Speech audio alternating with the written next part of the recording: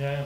Die, die gelbe Westen hatten, hatten recht. Also es ist nicht äh, Sache der Arbeiterinnen, äh, die Folgen der Umweltkrise zu, zu zahlen, für die, die die Kapitalisten verantwortlich sind. Und ich denke, diese Bewegung war auch sehr, sehr wichtig und auch äh, die Streiks äh, an den äh, Erdölraffinerien äh, und Aktivistinnen aus der Ökobewegung haben auch diesen Streik unterstützt, weil sie schließen Raffinerien in, in Frankreich, aber um größere Raffinerien woanders zu, zu, zu bilden. Also Arbeiterinnen werden ihre Jobs verlieren und aber die, die, die, die Klima wird nicht besser gehen. Also ist auch, ist auch klar. Also ähm, es war auch wichtig für mich, ähm, also als, äh, als Mitglied von Revolution Permanente, der Schwesterorganisation von Rio in Frankreich, äh, hier zu sein und ein paar Worte an euch zu richten. Äh, denn unter all den imperialistischen Mächten, die auf dem G7-Gipfel vertreten sind, äh, Frankreich ist nicht die kleinste. Es war eine der gewaltigsten Kolonialmächte überhaupt und es hat immer noch einen Fuß auf allen Meeren und Kontinenten. Am 5. Juli wird der 60. Jahrestag der Unabhängigkeit Algeriens gefeiert, die in einem Krieg erkämpft wurde, den Frankreich nur sehr langsam als solchen anerkannt hat. Im Herzen von Paris trägt eine große Avenue noch immer den Namen von General Bugeaud, der 1845 den Befehl gab, die in Höhlen geflüchteten algerischen Zivilisten auszuräuchern. Derselbe Mann, der General Bugeaud, der im Februar 1848 an die Spitze der Armee gestellt wurde, war bereit, die Pariser Aufständischen zu erschießen, er nicht von der Nationalgarde daran gehindert worden wäre. Die Unterdrückung der sozialen Revolten und der Kämpfe der unterdrückten Völker war immer Teil der Polizei. Es war der Präfekt Papon, einer der Organisatoren des Völkermords an der Juden in Frankreich für die Vichy-Regierung, die mit dem deutschen Faschismus zusammenarbeitete, der später für die Unterdrückung der algerischen Befreiungsfront FLN zuständig war und der für den Massaker vom 17. Oktober 1961 verantwortlich war, bei dem zwischen 100 und 200 Algerier von der Polizei in Paris getötet wurden. 1961, nicht so lange.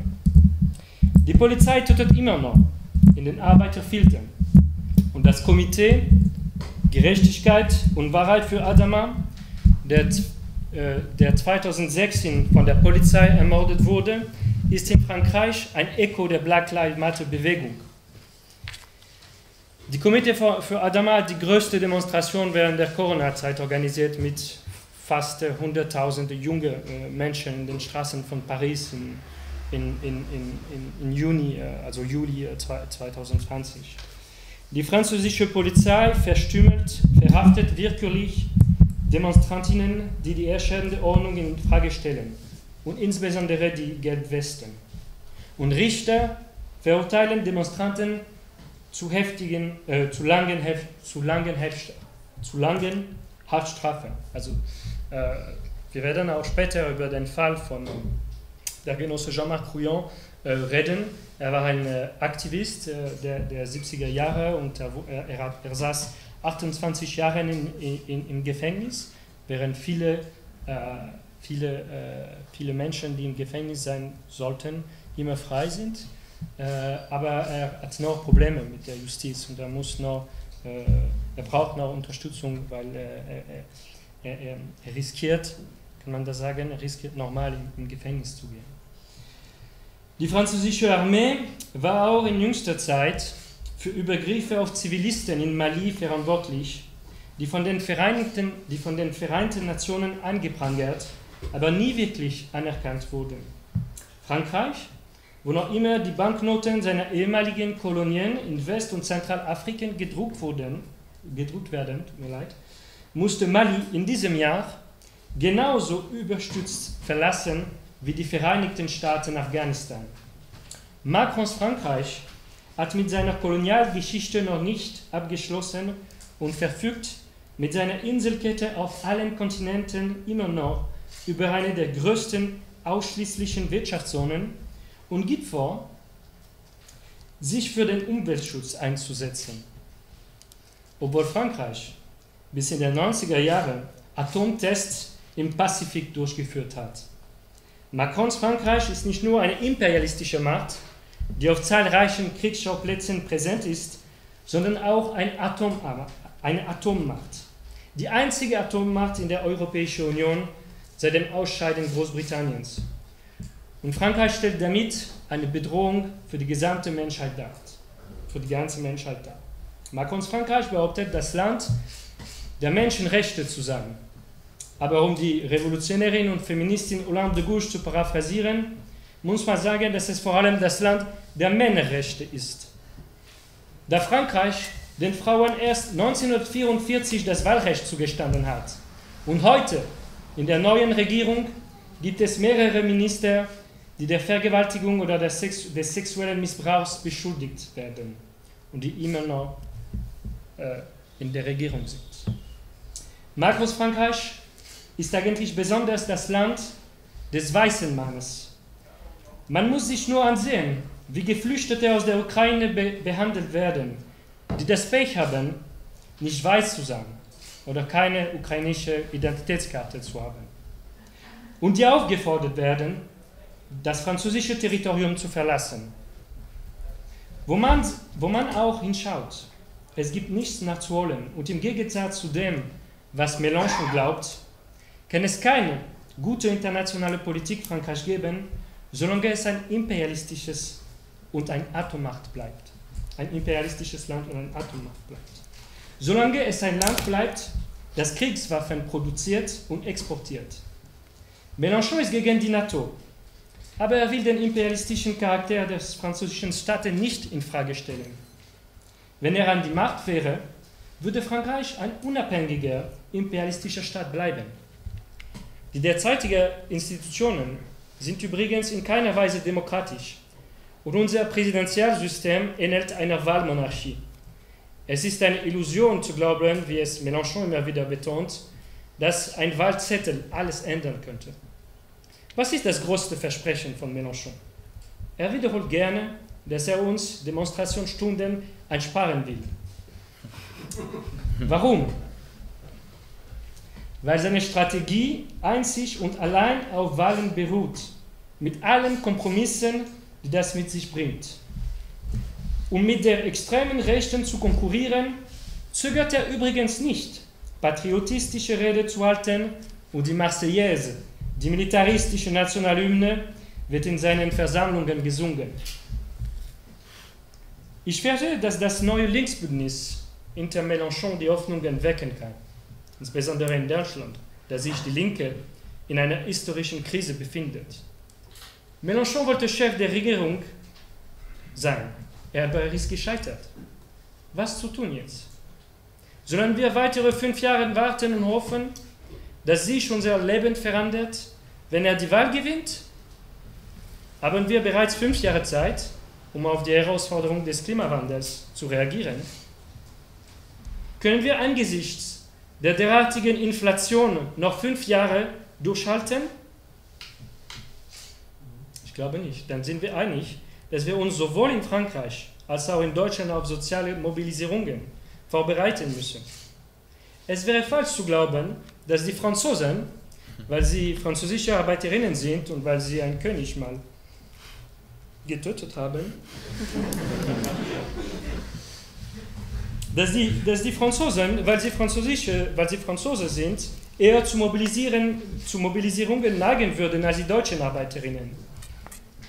Die Geschichte des 20. Jahrhunderts zeigt das Gegenteil. Und im Moment sind es die Affenarbeiter in Deutschland, die mit gutem Beispiel vorangehen.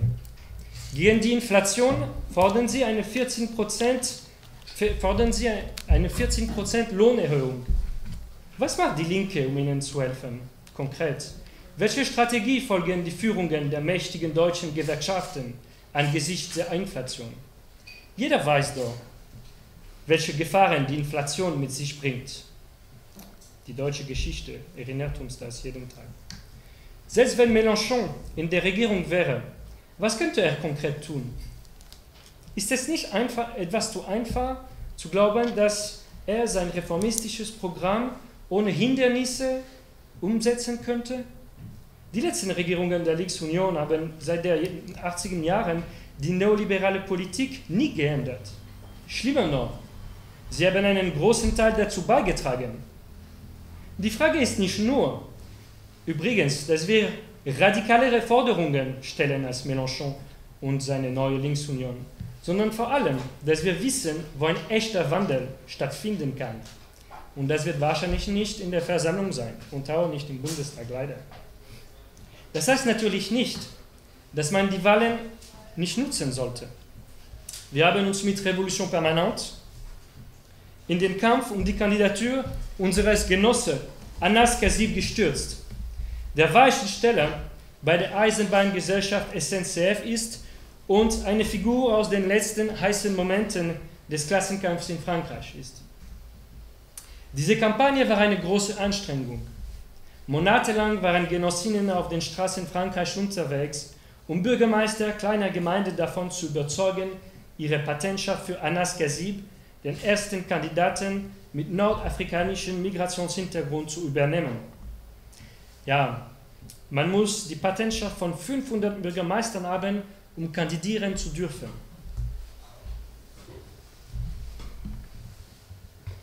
Antidemokratische Hindernisse und Druck von verschiedenen Seiten führten jedoch dazu, dass es uns nicht möglich war, an den Staat zu gehen.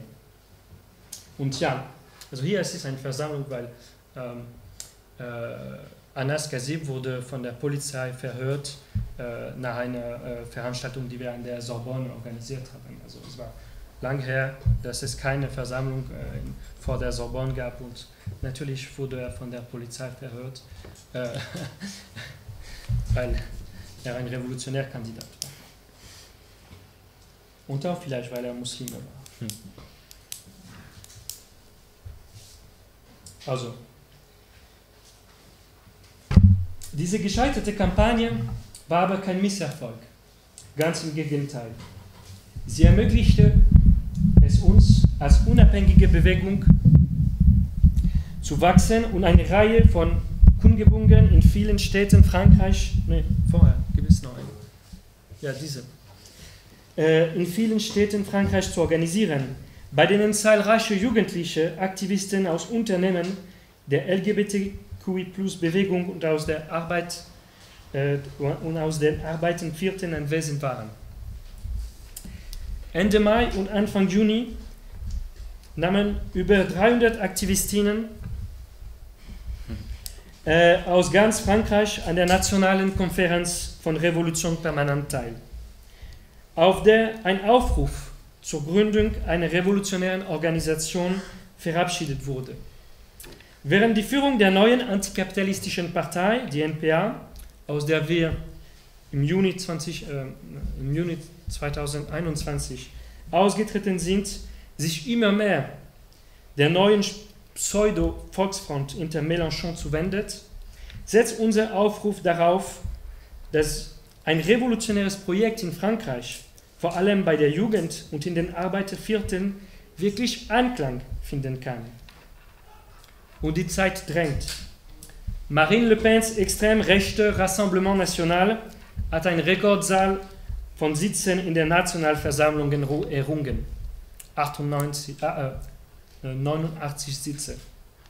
Diese Partei der nationalen Verzweiflung ist eine echte Gefahr und erobert die Stimmen eines Teils der Arbeiterklasse, die durch jahrelange arbeitgeberfreundliche Politik, niedrige Löhne, Unsicherheit und Arbeitslosigkeit verwirrt ist und die glaubt, in Ausländern oder Muslimen die Verantwortlichen für ihr Unglück zu finden. Der dumpfen Wut, die den Boden für Rassemblement National bildet, muss eine Wut entgegengesetzt werden, eine positive Wut, die Wut der sozialen Bewegungen, die Wut der sozialen Mobilisierungen, die in den fünf Jahren, die sich bereich ereignisreich ankündigen, unweigerlich auftreten werden. Die antiimperialistische Mobilisierung ist unsere beste Antwort auf die Partei der nationalen Verzweiflung und auch den Makronismus, der die Rassemblement National noch gestärkt hat. Noch gestärkt hat. Also zum Schluss, nieder mit dem G7-Gipfel, Solidarität mit den Geflüchteten aus der Ukraine und der ganzen Welt, Solidarität mit den unterdrückten Völkern, kein Cent für den Krieg.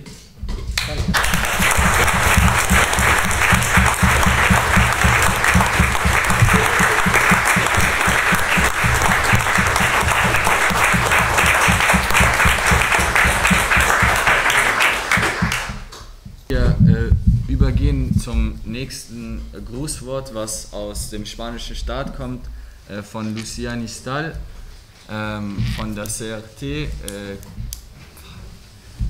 vergiss es, ähm, genau, von der Corriente los Trabajadores Revolucionarios, die Strömung der revolutionären Arbeiterinnen. Ähm, und äh, da geht es eben, wie ich vorhin schon sagte, ähm, vor allem um äh, den NATO-Gipfel, der, der nächste Woche nach dem G7-Gipfel ansteht.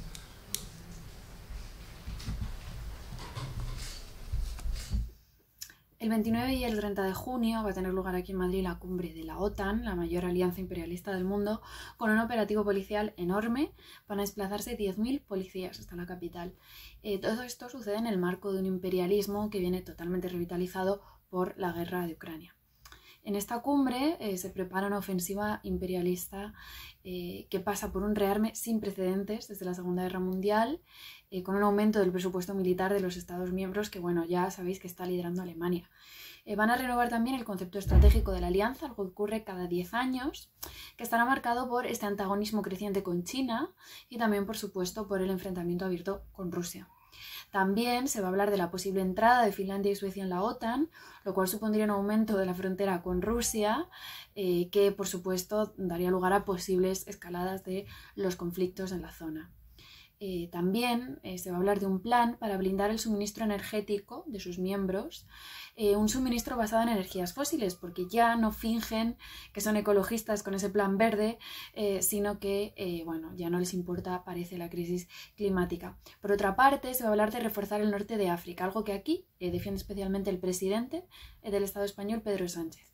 Hablan de terrorismo y cosas así, pero en el marco de hambrunas que ya están teniendo lugar en África, lo que quieren es protegerse de la migración para poder asegurar los negocios y el espolio, sin importarles, bueno, que mueran millones de africanos eh, por estas hambrunas de las que hablamos. Por su parte, el gobierno, que aquí se autodenomina progresista, conformado por el PSOE y los neoreformistas de Unidas Podemos, van a acoger la cumbre, pero además van a subir también el presupuesto militar, 3.000 millones de euros de momento, eh, se han sumado al envío de armas a Ucrania y además están preparando esa ofensiva por el norte de África, eh, bueno, con la traición al pueblo saharaui. Quieren además que se contemple la migración como lo que han denominado una amenaza híbrida. Luego se sorprenden de que suba la extrema derecha pero están aplicando políticas de extrema derecha.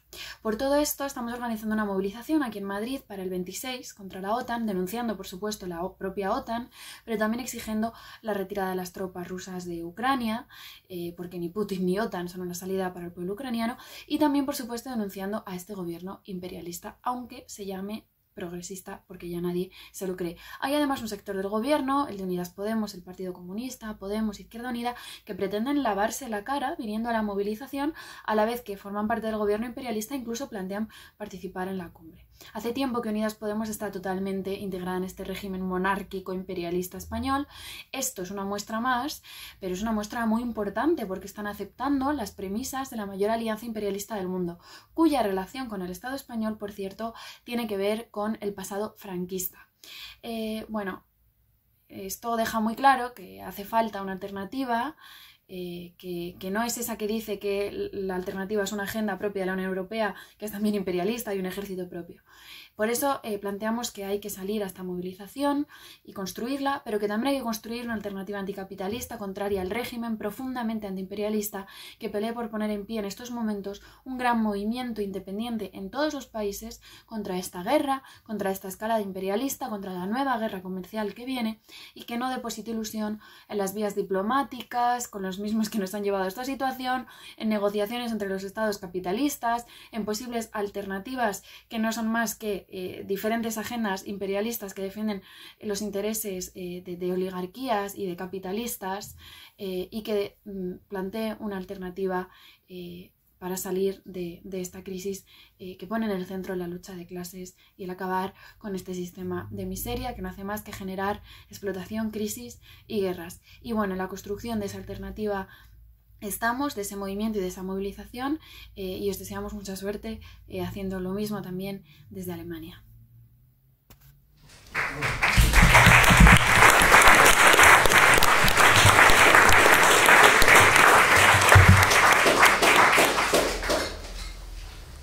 Also in, in, in, diesem Zusammenhang, wie, wie die Genossin auch schon gesagt hat, ähm, versuchen wir auch in den unterschiedlichen Ländern ähm, sowohl gegen, gegen diesen Krieg zu mobilisieren, aber auch gegen unsere eigenen Regierungen, die vor allem auch diesen Militarismus sehr, sehr stark vorantreiben, um sich auf, auf neue Konflikte und neue Interventionen vorzubereiten.